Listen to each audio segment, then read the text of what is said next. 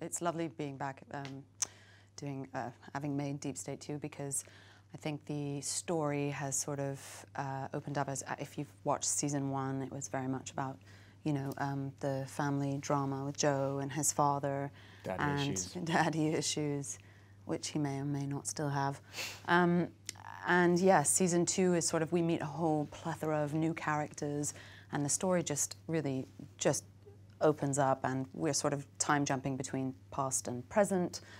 Um, and it's uh, yeah, it, it was it, for me personally, it was a, a little bit more exciting to shoot, just Yeah. because y- we were all over the place. So. It feels like yeah, it feels like the story kind of expands in in scope. It felt like um, it felt like in season one. I think we we discussed this when we were shooting it. It felt it felt like the story kind of started quite broad, Mm. like the conspiracy started quite broad, and then it narrowed down as we kind of got to the heart of it. Whereas it feels like with season two, it it starts as something that seems fairly innocuous or fairly you know, fairly par for the course in these these parts of the world, sadly at the moment. But then it kind of it continues to expand as the as the season goes on. And I think, you know, we it seems like every year, the you know the times in which we live get slightly more febrile again, unfortunately. So I think it's a, yeah, we still feel like it's it's it's very relevant and something that needs to be talked about. I'm not getting involved. says the man in the gated villa on one of the poorest nations on earth. We don't fil- film anything in, chronolog- in chronological order at Yeah. all.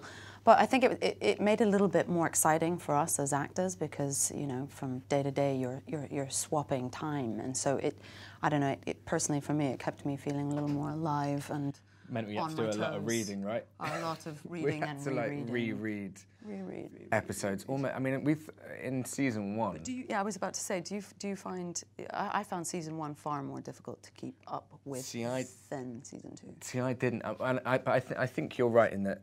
I think when it's all put together, season two will be slightly easier to follow because of the split timeline. You know, I think it's going to be very distinct for the viewer in terms of where we are in the, Yeah. sto- you know, which narrative we're following at certain points. The locations are so different, so it's Yeah. helps. But the reading of it, I mean, uh, I think in season one we were probably rereading the scripts like on a weekly basis. I, it was nightly on season two for me. It was like just tr- head spinning, trying to work out where where you were at various points. But but I think once it's all put together, I think it'll actually be fairly straightforward. George, good to see you. And you. When they put you down here? Uh, a couple of months ago, I've always said daylight's overrated. We've we've got some issues Yeah. on and off. Yeah, yeah, yeah. Family issues out the window, relationship issues very much in the window.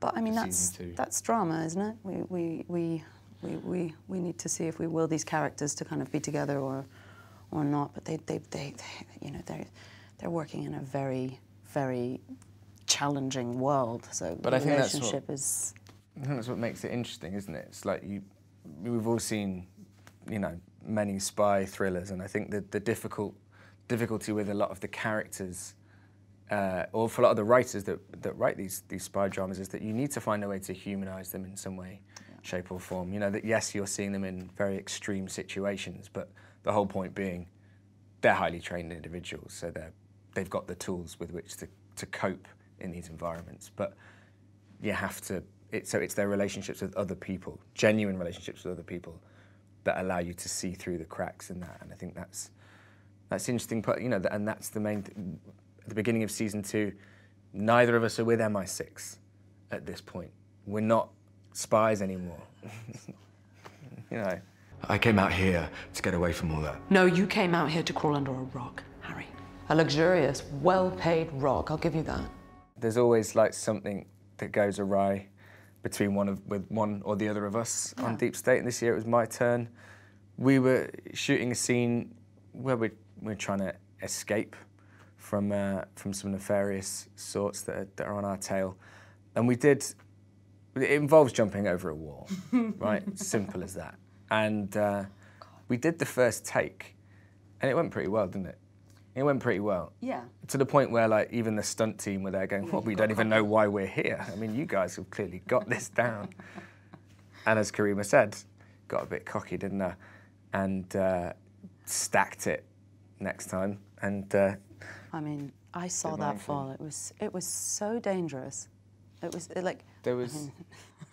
yeah, grace is not the word I would use he got his foot caught on um, the barbed wire and did a sort of backflip. That makes it sound way more heroic than it was. I mean, the, the fact that you survived is, is what we care about here. He missed the wall by, by a couple of inches. That- Yeah. That could have been so much worse Yeah, than it it could have actually was. But you know, you did pick up and you were a good sport. You, you ran through those weeds. I ran a bit later on, and it, but I mean, I let my ankle. stunt double do the rest for that particular one. Jeez. We filmed in South Africa, we filmed in Morocco, and the UK. Yeah, I mean, it was it's, it's, a, it's an actor's dream to be able to go and spend a couple of months in each of these locations. Um, and Morocco for me is, is, is home. So, uh, I mean, I was very comfortable. And Yeah, she's the our deep state barter artist. Whenever I'm in Morocco, make sure no one gets too, you know, Sound- too shafted. very protective. Yeah, yeah, you get a good deal on a Moroccan carpet if you're with Karima McAdams. Hmm, do I like the sound of that? Probably not. the places that we chose to shoot in, uh, Cape Town and various parts of Morocco and then, and then the UK, you know, like they're, they're, they're all doubling for, for somewhere else where there are, you know, far more political, there's far more political turmoil, I guess. Um, because, you know, you can't really shoot in places where there is a lot of political turmoil. So, I mean, I guess the, it's actually quite interesting seeing other people's reaction to the things that we're shooting there. You know, there, we, we had some setups that were involved some fairly intimidating looking extras and um, and yeah and, and to see sort of passers-by wondering what the hell was going on I think um, that, that was that was pretty intriguing because we didn't have to we didn't have to, any of the places we were in we didn't really have to worry but I'd imagine that some of the things that we were shooting made some of the locals worry Do you remember when we were um, we were in the desert and um, there was this? We had loads of Al Qaeda, Ansar al Din, Ansar al-Din, and